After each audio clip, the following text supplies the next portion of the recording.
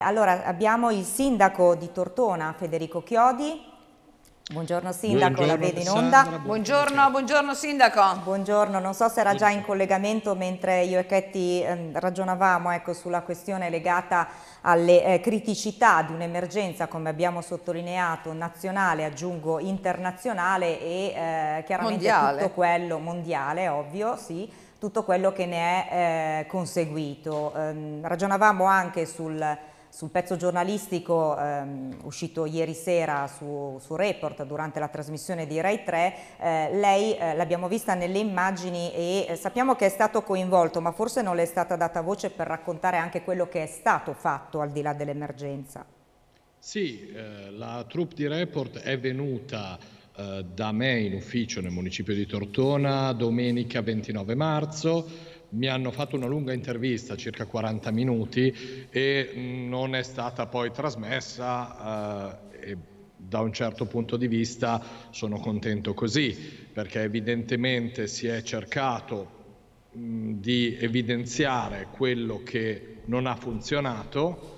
C'è questa immagine che vediamo di quando è venuto per la terza volta il eh, capo dell'unità di crisi, il dottor Raviolo a Tortona, durante l'episodio della casa delle piccole suore missionarie della carità, eh, che ha fatto tanto scalpore per come eh, si è tutelato, eh, mentre invece altri medici non avevano accesso alle stesse misure di tutela.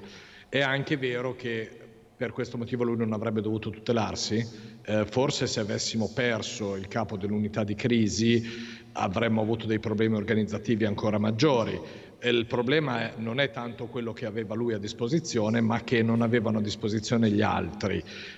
Non l'avevano a disposizione perché non l'avevano a disposizione non solo in Piemonte, ma in tutta Italia e oso dire in tutto il mondo perché c'è una grossa problematica nell'approvvigionarsi di dispositivi di protezione individuale e eh, francamente eh, lo so bene perché li sto acquistando con il comitato Tortona per ospedale proprio per i sanitari del nostro ospedale. Abbiamo già speso 521 mila euro eh, di donazioni che ci sono state fatte al nostro comitato che ha raccolto 1.200.000 euro principalmente con una grossa donazione da parte della famiglia Gavio e poi da 7.000 altre donazioni di cittadini e imprese del Tortonese e noi abbiamo cercato di supplire a quelle che sono state le difficoltà iniziali nella gestione di questa emergenza.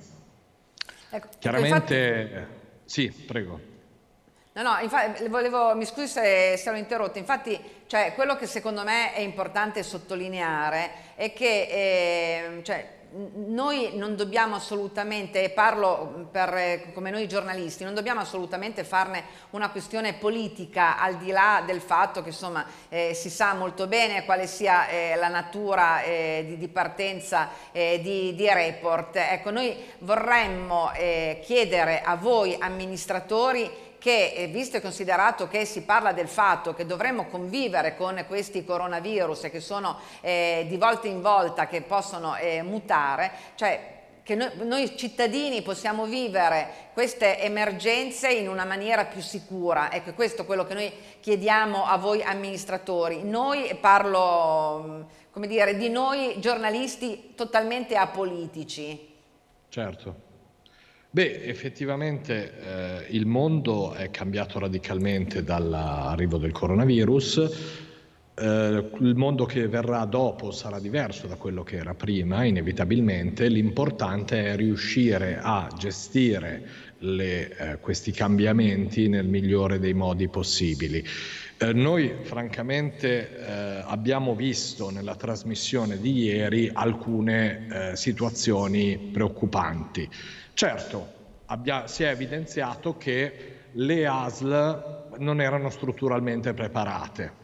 Non lo erano in Piemonte come non lo erano altrove e eh, forse anche perché negli anni si, una, si sono fatti una serie di tagli alle spese sanitarie che poi abbiamo pagato. Si è detto certo. che all'inizio della crisi c'erano due laboratori che potevano effettuare tamponi in Piemonte, non si è detto che adesso ce ne sono 19, si è detto che all'inizio c'erano 240 letti di rianimazione, non si è detto che adesso ce ne sono 380. eh, in buona sostanza si è fatto molto per affrontare questa emergenza. Quello che eh, probabilmente non è trasparso dal servizio di ieri sera è stato proprio questo sforzo gestionale. Le magagne sono state grandissime, ma perché? C'era una struttura non preparata, anche il, il software stesso delle email non era lì da ieri, non era lì da maggio, era il software dell'ASL ormai da anni e evidentemente eh, questa emergenza ha fatto emergere quella criticità che deve essere affrontata. Allo stesso modo gli ospedali non avevano le capacità di riuscire a agire tempestivamente, si è fatta richiesta di specifici commissari, come ha detto anche l'assessore Riccardi nel video, i commissari sono arrivati e le cose hanno iniziato a funzionare. Sì, stato il periodo più critico è stato proprio quello iniziale. Da noi a Tortona abbiamo avuto il primo ricovero il 29, la prima positività eh, 29 di febbraio, la prima positività il primo di marzo e poi abbiamo avuto la trasformazione in Covid Hospital tra il 4 e il 5 di marzo. Quel, quei giorni intermedi sono stati sicuramente i giorni più, più, difficili, così come anche quelli immediatamente successivi, dove ricordo ci sono stati i medici che non potevano uscire dall'ospedale di Tortona per paura di infettare le proprie famiglie. Eh, sono stati svariati turni senza sostituzione all'interno, medici e infermieri. Eh, è stato sicuramente un periodo difficile poi si è lavorato perché non si ripetesse più una situazione di questo genere. Grazie signor Sindaco, grazie come sempre, buon lavoro. Grazie, grazie mille. Grazie.